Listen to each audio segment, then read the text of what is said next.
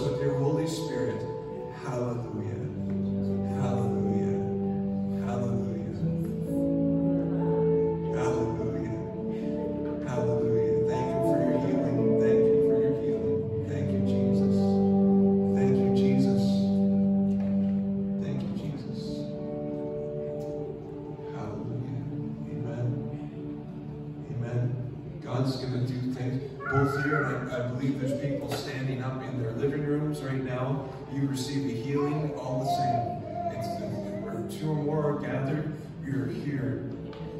He is here. We, and where did that come from? That's a prophetic invitation to be healed. That's not you coming to the Lord to be healed. That's him saying, come to me, now's the time.